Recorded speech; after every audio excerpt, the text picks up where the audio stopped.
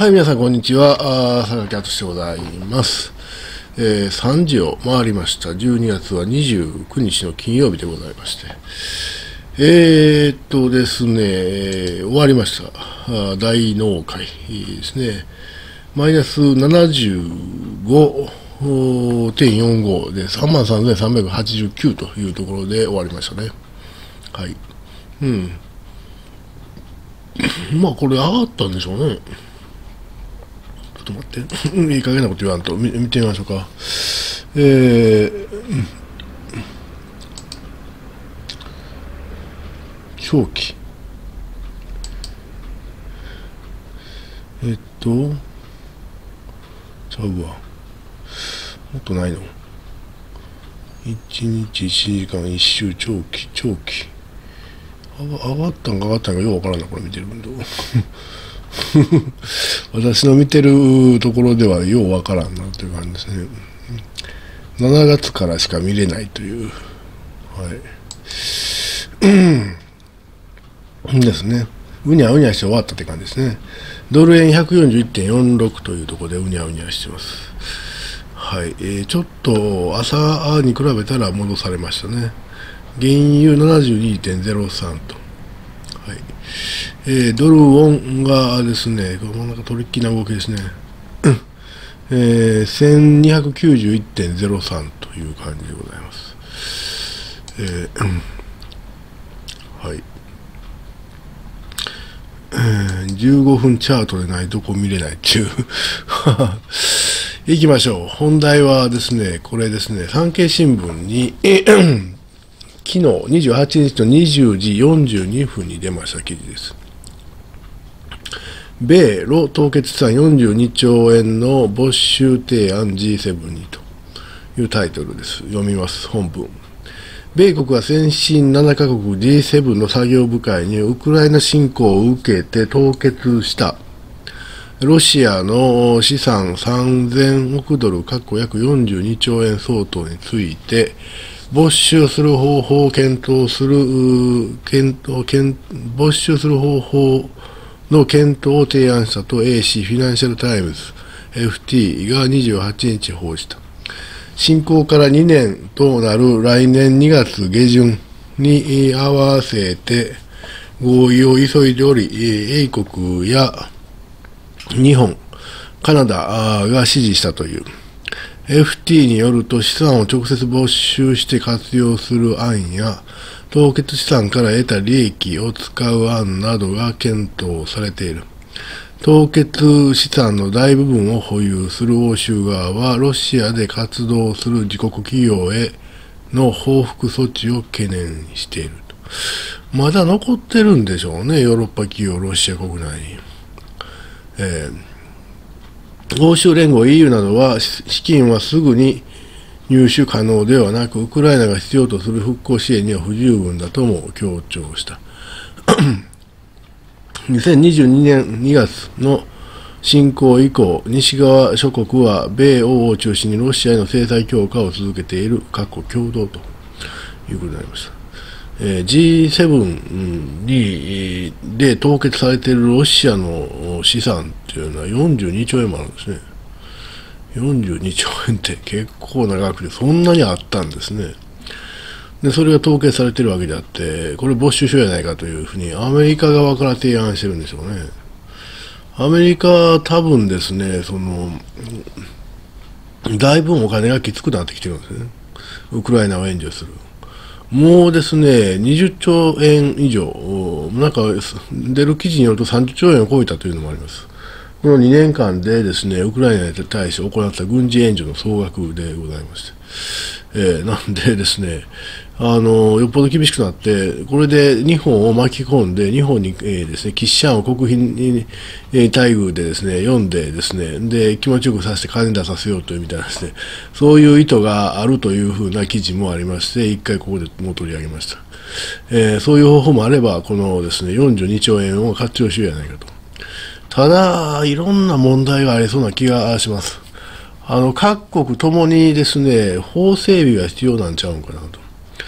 えー、あの、それをいわゆるですね、えー、例えば簡単には銀行預金とかをですねあの凍結するのは割合簡単にできるんでしょうけどもじゃあそれをあの引き出してこっちで使ってしまおうということなんですね。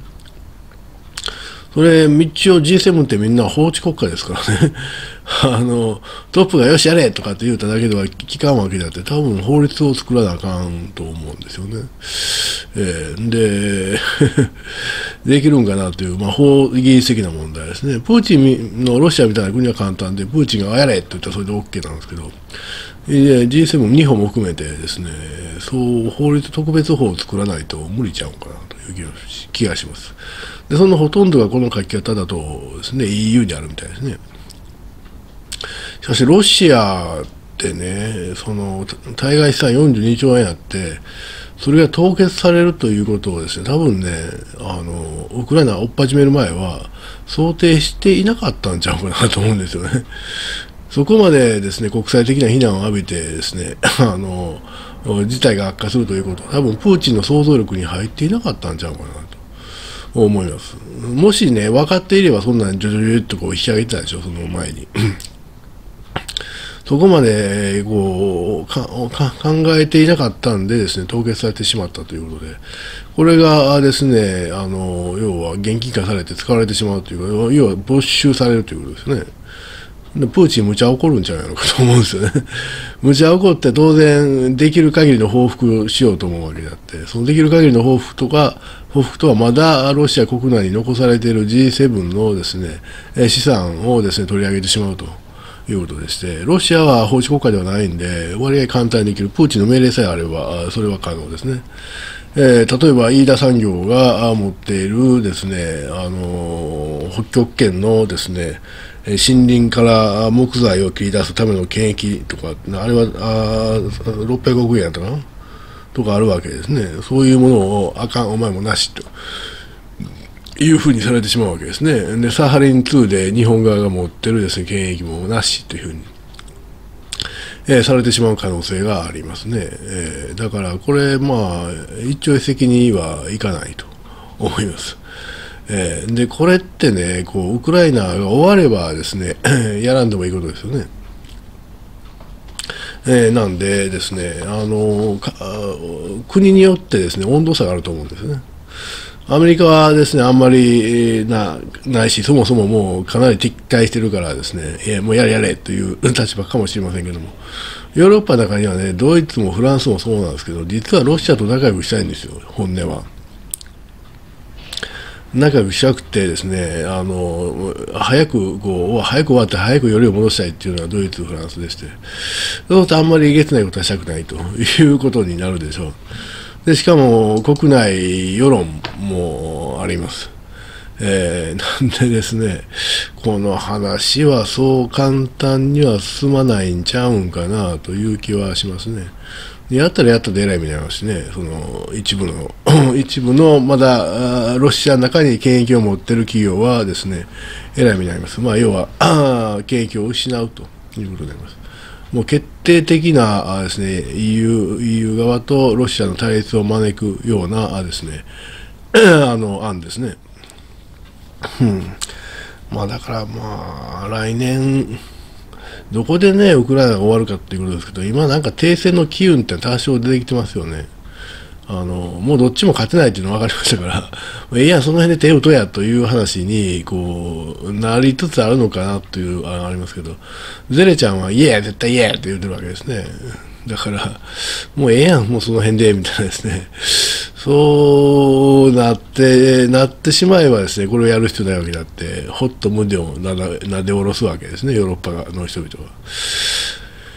まあ、わかりません。あの、バイデンさんとしてはですね、11月に大統領選挙がありますから、それまでにまとめるものはまとめてしまいたいなと。で、まとめないままのトランプに渡したらぐちゃぐちゃになるんちゃうかという 感じがしますし、いやー、ちょっと先行き不透明感が強まってきましたね、このウクライナの情勢については。えーまあ、ただ、この案がちょんちょんちょんとですね、あのひょいひょいひょいとこう進むとは思いませんし、日本としても本音としてはですね、そこまではしたくないというところがあるのではないでしょうかね。はいえー、ということでございまして、この産経新聞、今読みましたページのアドレスを一応貼っておきます。はい、皆さんどうもありがとうございました。